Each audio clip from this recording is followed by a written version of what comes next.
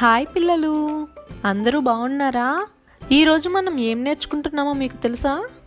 పూర్ణానుస్వర పదాలు. అంటే సున్నా కలిగి ఉన్నటువంటి పదాలని నేర్చుకుందాం. అవి ఎలా పలకాలో తెలుసుకుందాం. అంత ఇంత ఎంత ఎండ కంప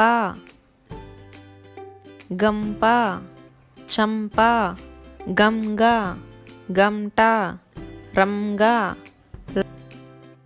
లంక చలం జనం జయం మంట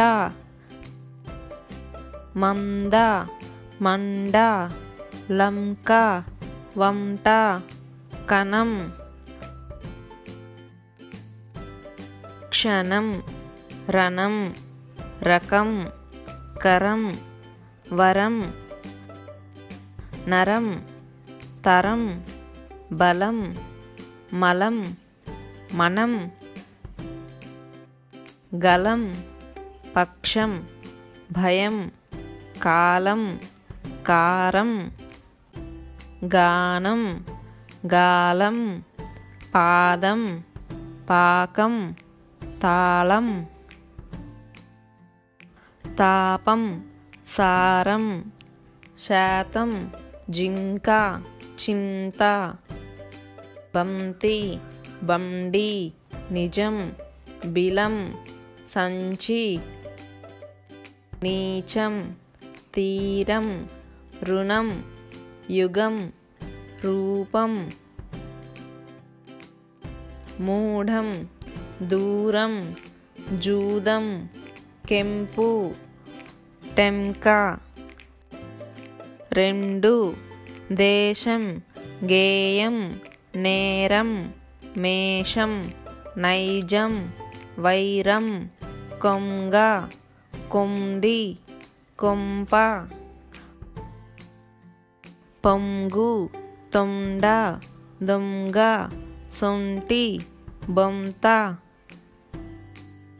అంగం అందం అండం అంశం అంతం కంచం గండం గంధం దండం పంతం.